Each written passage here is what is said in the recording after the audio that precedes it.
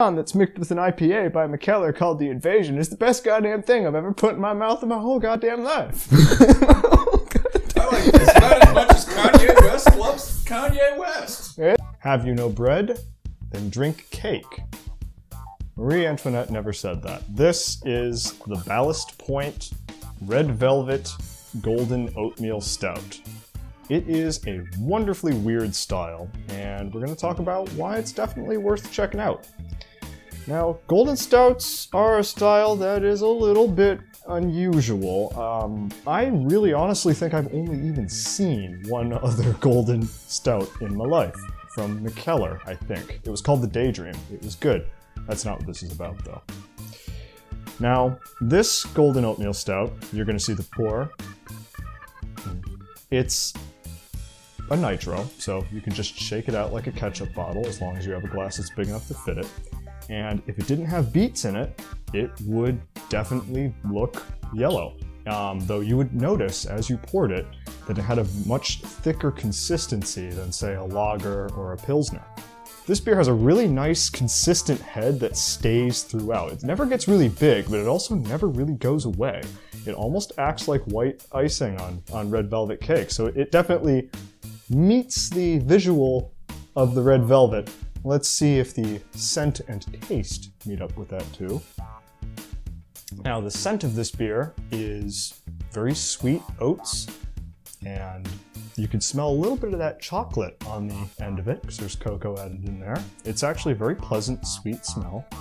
Now, what I really like about this beer is I was first concerned that it was going to be too sweet for me. I tend to not like highly sweet beers, but it's not. Uh, the moment I take a good swig of this, it is very nice and hoppy at the start, and then descends right away into the sweet grain of the oatmeal.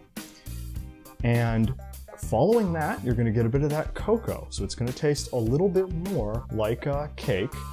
And then it's gonna round out with the beet flavor to make it have that little bit of zip at the end that's characteristic of red velvet cake. I was at a loss as to how to rank this beer. Personally, I adore it.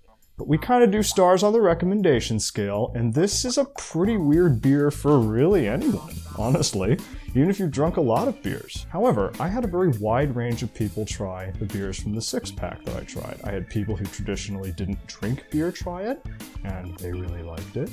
I had people who traditionally tend to drink, uh, you know, the Bud Light style simple pilsners and lagers stuff. They really liked it too. I only actually had one person report back to me that they didn't really enjoy it. They thought that the beet flavor was a little off-putting, but they did not regret drinking it. And that's really why I ultimately give this beer five stars on the recommendation scale. And I'm not gonna go and say, oh, you know, everybody's gonna have a five star experience with this beer, but frankly, it's so unique and so cool that even if you drink it and it's just not your thing, you are not gonna regret trying it. And really, at the end of the day, that's what five star means on this channel. So, even though it's weird, even though it's cake in a glass, and I didn't, I gotta give it five stars. It's wonderful. I don't care what Beer Advocate says. It's definitely worth checking out, and we've got to make sure that we encourage brewers to try new and interesting things so that beer continues to evolve. So, take it easy, cheers, drink a cake.